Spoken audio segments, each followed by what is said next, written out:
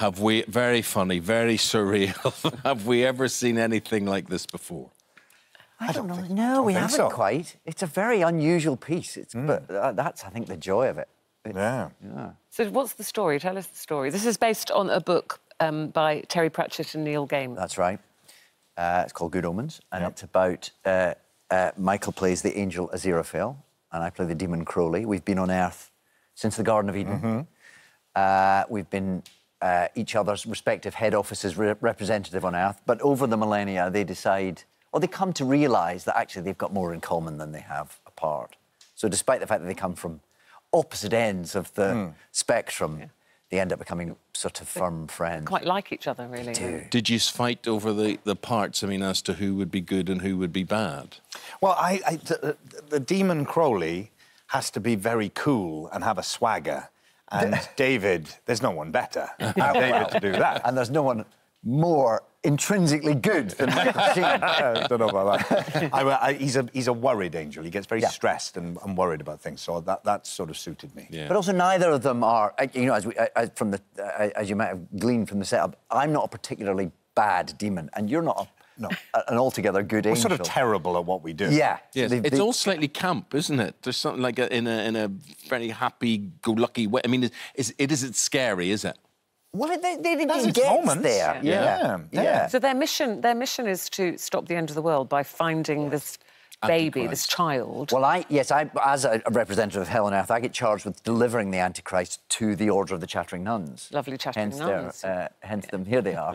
Uh, In order to bring about the end times. Exactly. Yeah. Yeah. Uh, b- but I slightly, well, myself and the nuns slightly mess it up.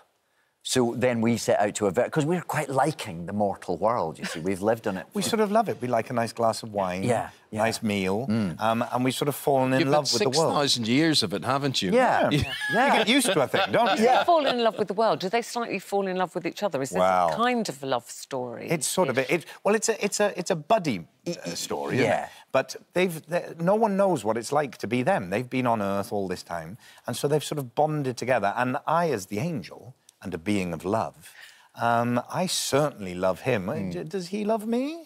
He wouldn't possibly comment on that. that would be far too, uh, uh, you know, far too demonstrative. Yeah. But Yeah. But, but they've uh, only got each other as well. They're, you know, they're these as these two supernatural creatures. Yeah, people, you know, will be seeing you two. For many people, for the first time, I have to ask you: Have you ever acted together before? Because you know, as two of the top actors the country has produced, uh, I think this is very exciting for folk. Well, it's very exciting for us because we, we haven't. We were in a film together, how, 15 years ago? Must have been, yeah. But not, but not in a single frame together. Um, Stephen Fry's Bright Young Things. Have you ever been sent up for the same parts? Oh, probably. I think pro- I- I think that's the thing is that Yeah. we're probably up for a lot of the same parts. So if one gets it, then the other one's not going to be in it. So it's a rare uh, uh, experience to be able to actually be together in this, and it's been an absolute joy and a pleasure. Yeah. Any any plans to repeat it, uh, to to work aga together again, or? Well, it is. Yeah, it is tempting, isn't it? It Like, what certainly is. would it be? Well, this is a one-off thing. It's a one book Yeah. and it's Yeah, an adaptation, yeah. six episodes. But um, yeah, now that I've had a, Yeah. a taste of uh, of working with David, I would. I only want to What's work it like with David. now. watching each other? Well, you've obviously seen each other's work, but never actually been on Yeah. set together. Well, the- so I is it a strange thing, kind of watching? Genuinely, the, the hardest thing about working with David is as I'm as we're doing a scene together, I, I'm just there going, "Oh, that's very good," well, and I forget to say my lines. so that is the hardest thing about it. It- It's fun though. It's fun, you know when, you- when you're working with someone that's genuinely inspiring, you kind of go, "Oh, this is Yeah. fun. I like Mm. being on set. This is great." But you see, you, Michael, um, you're appearing in something I never thought I would see you uh, appear in with Alan Carr on Sky One. Yes. on the uh, the movie. There's the something movie- about movies. Exactly. Yeah, I love watching this kind of stuff and talking about films, and I love Alan, and, and it was a chance to bring actors and stand-up comedians So are you a together. to team talk- captain? So I'm a team captain. Oh. Me and oh. Micky Flanagan are the team captains, and Alan hosts it, and we do. We just sort of spend an hour Flanagan is the talking funniest nonsense. Man, I could watch. And then Mickey we recreate day. si- scenes from the classic movies. Oh, from do Now, talking about recreating, you know the story about his dad, do you? Yes. Oh, yes. Well, a- a lot of people won't know this. Tell us about your dad and Jack Nicholson. Well, a very long time ago, when I was in drama school, so we're talking late 80s, early 90s, um, people started coming up to my dad in the street and saying, You look exactly like Jack Nicholson. And my dad thought they meant the golfer, Jack Nicklaus. He didn't really know Jack Nicholson was. And it was around the time that those the first Batman movies were coming out, the Tim Burton ones, where Jack Nicholson played the Joker. And so that eventually led to him getting uh, an agent and then working all over the world as a Jack Nicholson lookalike. You've then been David Frost and you've Yeah. been Brian Clough and you've been Tony Blair umpteen times. Yeah. There must have been a bit of dad influence there. Well, I've always said that what my dad uh, lacks in specificity, he makes up for in commitment. So into, I, I think I've taken after him in that respect. I throw myself into things. Talking of dads, am I right that your son is now an actor? He So he's is, Following yeah. your footsteps. Yeah, he's in that uh, the movie Tolkien that's out now. Were you and and your wife, his mum, um, at all And worried about together. that? Were you thinking, you know, it's not the easiest bit It's not- when you've done very well? Yeah, it's not the easiest profession, and you, oh, you, you know, you want, but it, it, it's also very difficult.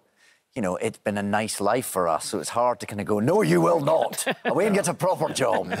so uh, obviously we're thrilled, and and he's he's really good. And you wanted to be an actor. You said, Oh yeah, yeah, really yeah. young. It's only really relatively recently that Ty. I don't know how long he was harbouring it, not not admitting it Yeah. to us. It's only in the last handful of years that he said, I, you know, I want to give it a go, and he, he's he's brilliant. So I, you know, all power to him. All power to him. And uh, if anybody can grant the power, it can be the, the bad angel and the, the good angel. Uh, good Omens is available on Amazon Prime Video from this weekend. There's That's six Weekend, episodes. That's it. Yeah, and it's a, a great box set type thing Yeah. uh, to watch. And um, sisters, thank you very much indeed as well. Thank you. Lovely, there they are. Look at them. Look at them. chattering and, nuns. and let me just say, so they has the Antichrist been placed with them, or they placed the Antichrist in the wrong place? Is that what they did? Yeah, they're they're not they're not uh, nuns in the they're they're a, an order of satanic nuns. you Yes. see. um, and they're not. It turns out they're not particularly efficient at delivering the Antichrist to the right birthing room. That's Okay. really where it all starts. Oh, but the wrong. funny thing is, they put, did they not place the Antichrist in Oxford or something? There's a yes. There's a there's a. Uh, it's next to a naval base in Oxford. You you have to. You have to watch watch. You have to watch. You Yeah, have it's all a bit there, have to complicated. watch it. Guys, an absolute pleasure Thank to talk you. to you. Thank Uh, you might want to hang around. We've got Michael Palin, more acting Oh, royalty. I met I met him backstage. I met Michael Palin. Very excited because they're Incredible. old pals. old showbiz Michael here. All us Michaels stick together. yeah.